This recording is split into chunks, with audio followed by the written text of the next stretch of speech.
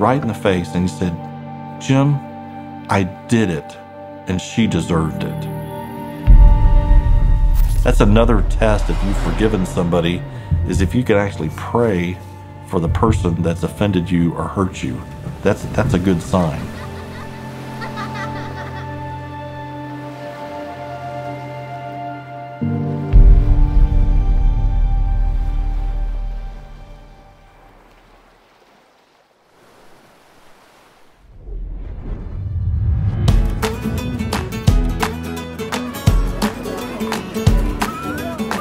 Story really starts at home.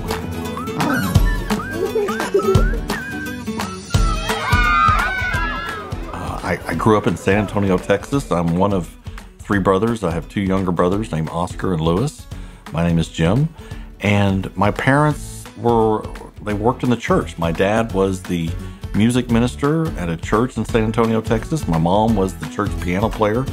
And we grew up very, I'm going to say sheltered, but happy and it was all about church and family, and my grandparents also lived in, in, in the same city. And we thought everything was fine. Uh, but when I was in about sixth grade, my mom and dad shared with us that they were going to get a divorce. We didn't know what a divorce was because nobody in my family had ever been divorced. And through our divorce with our parents, we went through a custody battle and custody fights and kind of bounced between house to house and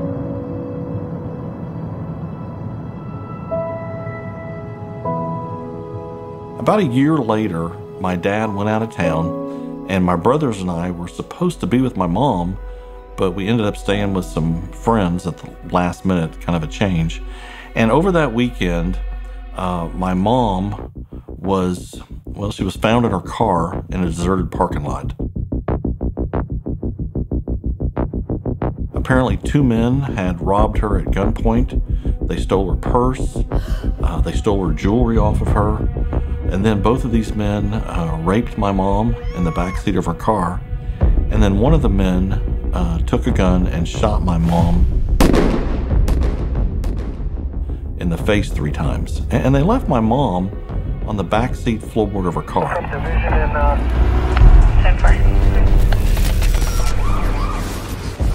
And the next day, after she was found, my, my dad flew home and he he came and got us and he, and he sat us down and he shared with us about how my mom had been murdered.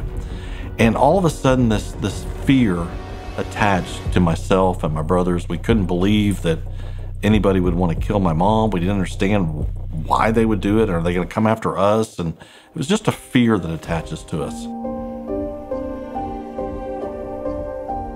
And we, we went through a, a funeral, and then for the next year, we were trying to get back to normal living with my dad. But what I've learned, if you're a victim of a crime, there, especially of a homicide, normal never returns.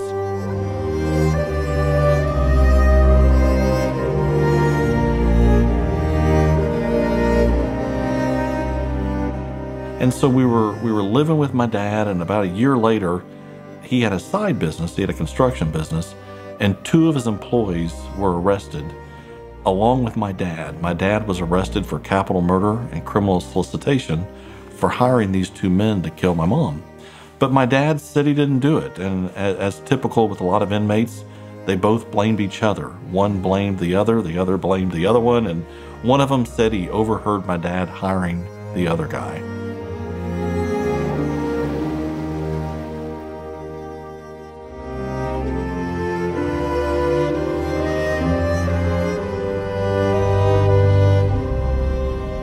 My dad's bail was denied, and, and that's when everything changed.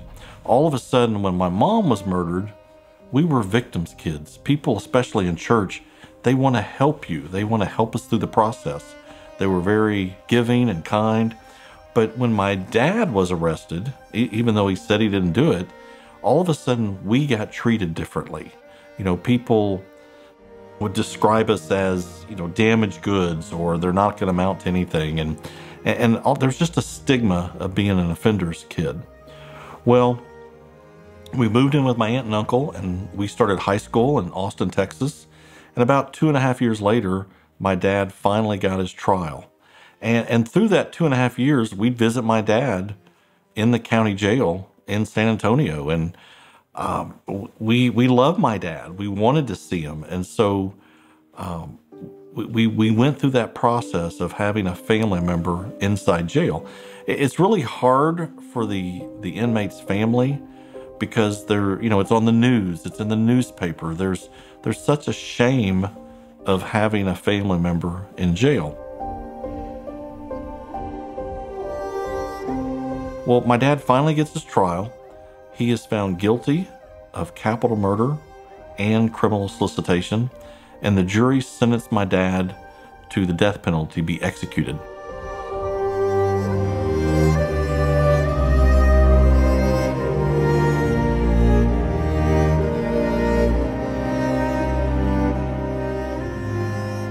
Well, it was, it was heartbreaking, but I didn't believe it right? I just couldn't imagine that my dad would do that. You know, being my football coach, watching football together, always doing stuff together. I just never imagined that he could have could have done that and would and just thought it was all a big lie for so long. I remember we were they sat us down in the room and told us that she had been killed and shot and I just remember crying. I remember you crying. I mean, you didn't cry that much growing up, so I was like, this is horrible. And then Oscar's crying. So I don't know. It was just, it was kind of unbelief. Just, I couldn't believe it had happened and didn't quite understand what had happened, but I knew I was scared to death. Mom was murdered. We lived in San Antonio. And, and then a year, it wasn't until a year later that dad was arrested and we were in San Antonio. And then all of a sudden, when dad got arrested, uh, you know, being the, the the same name, I'm I'm James Jr. He was James Senior. It was in all the news media, and it was in the newspaper. It was on TV, and then um, we moved in with my aunt and uncle in Austin, and it would hit the newspapers. Mm-hmm. And so uh, all of a sudden, everybody at school knew that Dad was awaiting a capital murder trial we never talked about it in school, but I, I, I could feel that people knew.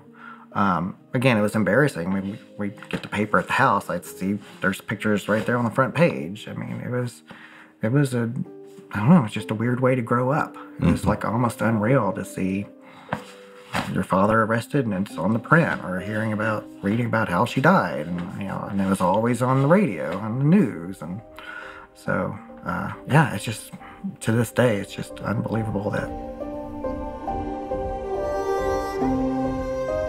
we actually went through it mm-hmm. and had to live it while it's, almost like a bad TV movie we ran. Mm-hmm. So yeah, it was hard, embarrassing. I keep that's the word that always comes up to me. Shamed, shameful that you know we're her dad did this to us.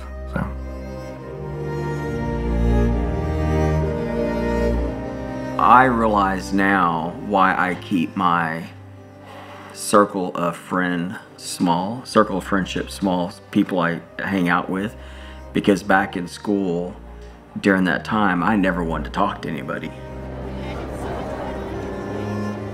Right? I didn't want anybody asking me questions. I didn't want to have to answer any questions. I didn't want to have to deal with it. And I think that's where I really started shutting down during that time. Uh, but I think that's why to this day, even as I still have a small group of people that I associate with, I'm not a large group of person. And as y'all know, I'm not, a, do not enjoy being around big crowds of people and stuff like that.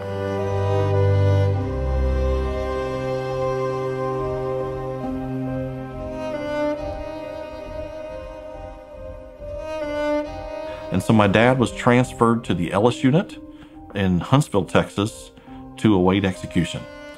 We, we then left Austin, Texas, and moved in with my grandparents in Malvern, Arkansas, and we finished high school. We went to college. And it was my senior year in college, the district attorney on my dad's case, his assistant came forward and said, There's some men on death row that shouldn't be there. And she disclosed that the the prosecutor had altered evidence in my dad's case to prove he was guilty. He knew he was guilty, just couldn't prove it so he changed some evidence. Well, the good news for us is we had believed in my dad, and the fact that he got a new trial because of this misconduct just further reinforced that my brothers and I knew he didn't do it. We had kept the faith that he didn't do this. So he gets off death row when I was a senior in college, and he goes back to the San Antonio, Texas county jail.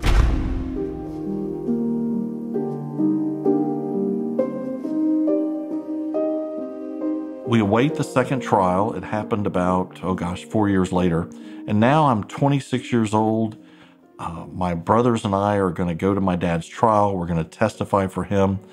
And he has a second capital murder trial. Well, the jury found him not guilty of capital murder, which meant he would never be executed. And I can't describe the relief it is to know that I was not going to lose my dad to an execution. But they found him guilty of the lesser charge of murder and gave him life in prison. But the jury knew that he was getting released on parole. So they're basically releasing him, even though they found him guilty of murder. If you're a family member of an inmate, it's, it's like your life is on hold until that family member gets released. And we had done all we could over all these years to get my dad home. So that night, we knew my dad was going to be released within the next three days on parole. In fact, uh, my wife Marilyn and I, uh, we had I had testified that he was going to come live with us.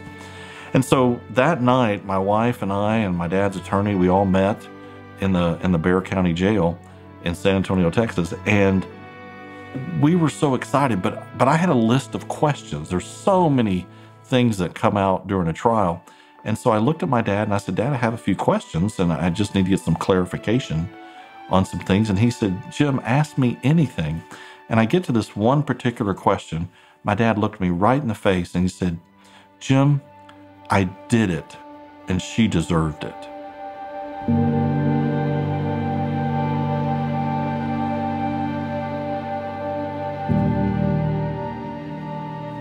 And I was shocked. He he was confessing, and what I was really surprised by is that he was blaming it on her. He thought he was the victim because he was in prison. And I, I, I quickly, I would say, turned, flipped, changed. All of a sudden, I wanted him to know that he wasn't the victim. My mom, who was buried, is the victim. And so I left there furious. And, and what I realized is that was the first time I grieved for my mom. Because when my dad got arrested, it all became about him.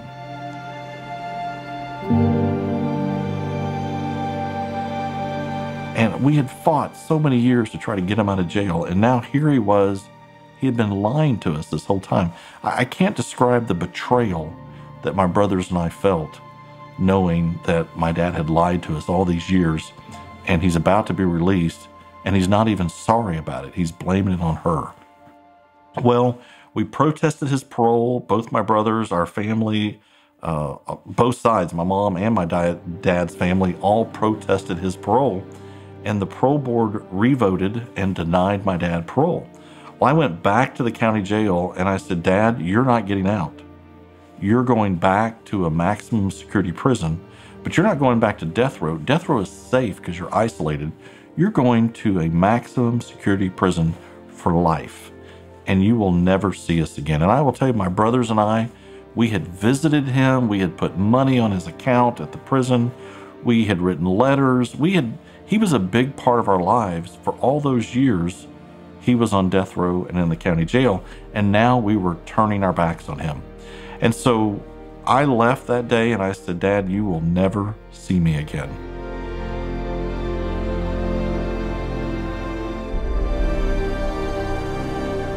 And about three years went by, and uh, myself and, and one of my brothers, we had our first son.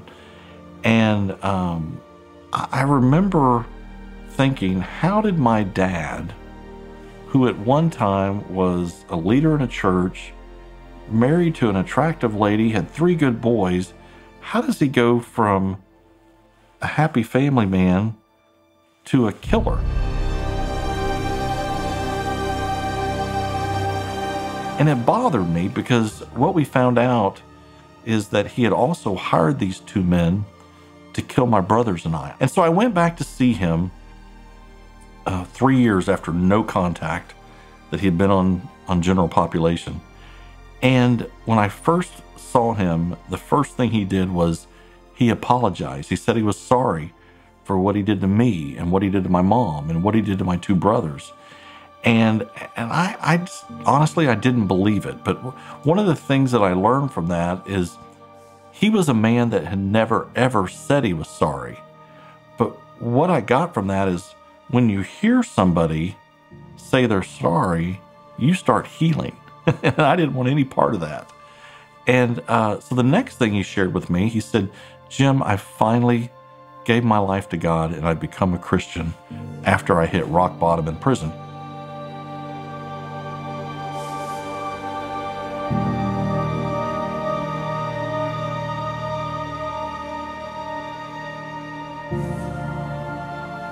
Basically, for the next year, once a month, I would go visit my dad. And through that one year process every month, I went through a forgiveness process. And people will say, How in the world do you forgive your dad for killing your mom? But I, I work with a lot of uh, crime victims. And what I've learned is if you don't forgive your offender or somebody that's hurt you, you become bitter, angry, and depressed. And I didn't want my dad to control me. and so I actually forgave my dad not to let him off the hook, but to let me off the hook. I didn't want to be that bitter, angry, depressed man.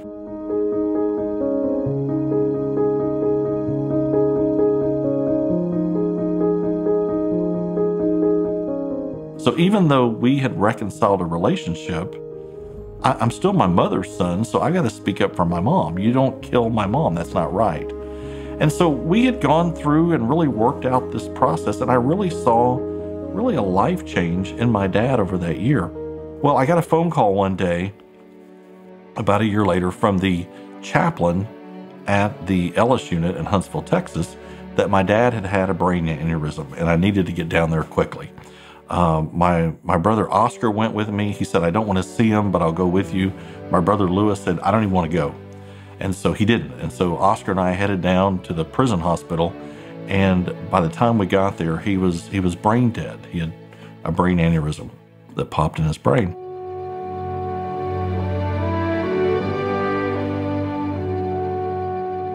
So we had to pull him off life support that night. And you would think that'd be easy, but he was still my dad. You know, he did kill my mom, but he was my dad, and I love my dad. We made that difficult decision. He died that night in, in prison, in the prison hospital. And what happens is if you're uh, a family member of an inmate that dies in prison, you either let the inmate get buried in the prison grounds or the family can claim the body and have a private funeral at our expense. And so that's what we did.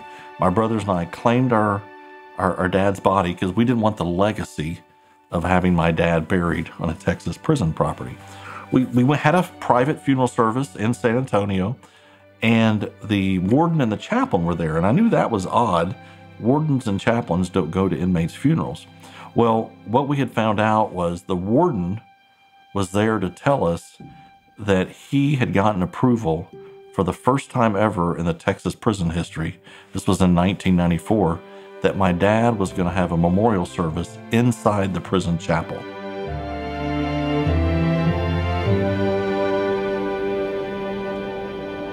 So, about a week later, um, my brothers Oscar and Louis and our wives headed to the Ellis unit, and we were able to tour death row where my dad had lived and then we also toured the general population cell that he had lived. And then we went to the prison chapel. And it looked like a normal church chapel, except we sat on the very front row, and behind us were about 300 prison inmates in white uniforms surrounded by guards. For the next three hours, one by one, a man in a white prison uniform walked up to the microphone looked us straight in the face and said, I became a Christian because your dad shared his faith with me and I've changed my life. And when you hear one person say that, it's powerful. But when you hear 300 men over a three hour period share how they became a Christian because my dad shared his story. He he would meet a man in prison, he would explain that he had made all these bad choices, had been convicted and was given a life sentence, but he had asked God for forgiveness and he had taken responsibility and accountability for his actions and he was going in a new direction. He was telling his story.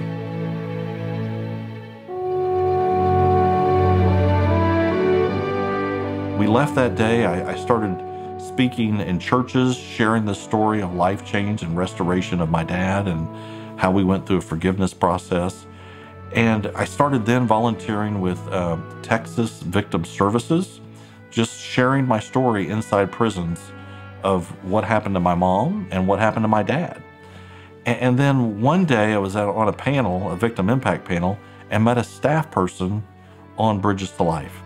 And I actually started as a Bridges to Life crime victim speaker and started going through their 14 week restorative justice program where there's different topics accountability, responsibility, confession, repentance, forgiveness. And, and, I attended a graduation of Bridges Life. And what I realized in a graduation ceremony, all the graduates of the Bridges Life program walk up to a microphone and they share how they changed, what they learned. And it was a picture of like my dad's memorial service in prison. And it really struck me people can change.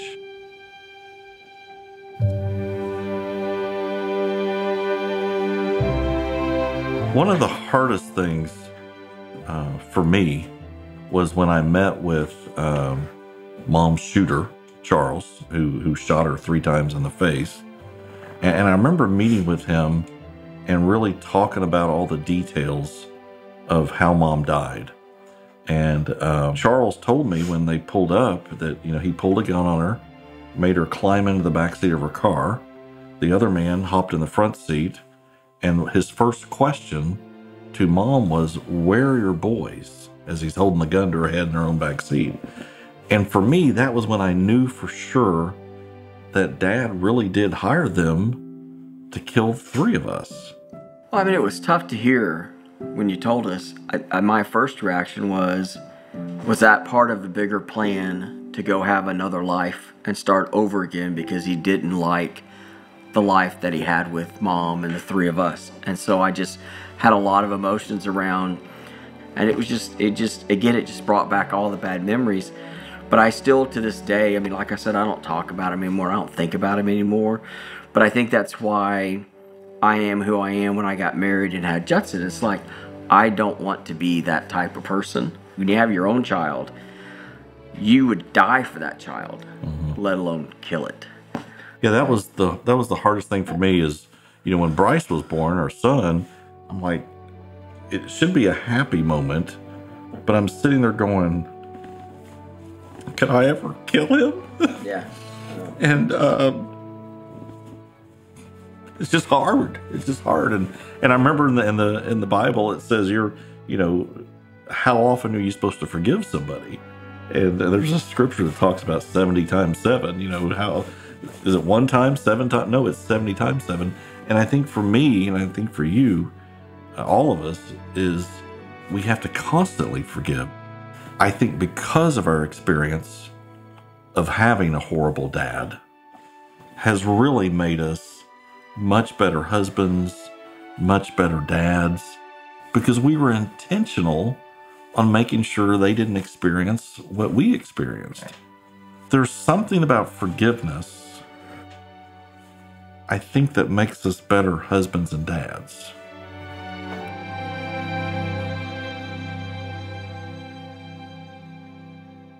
So what I kind of the the ending of our story is we've been able to see how God took a horrible situation with my mom's murder, but yet he turned it to good. And, and a lot of it is telling your story. Um, myself. I tell my story in, in prisons. But what, what I've learned is God can take a horrible situation in your life and He can turn it for good. And um, that just gives us a peace. And so now when I go into prisons to share our story of what happened to my brothers and I, I, I, I really get to honor our parents. I get to honor my mom and the impact she had on our life, but I also get to honor my dad that he was a man that really did change and, and we were able to forgive him.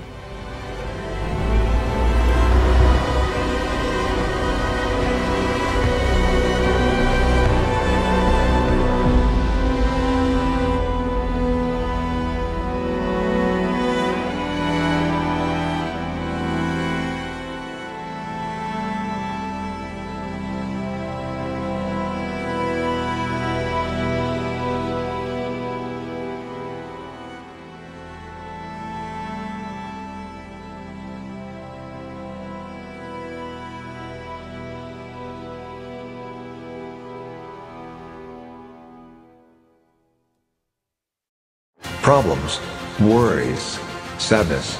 Are you seeking solutions? Bible says, Do not be anxious about anything. Instead, pray about everything. Choose faith over fear.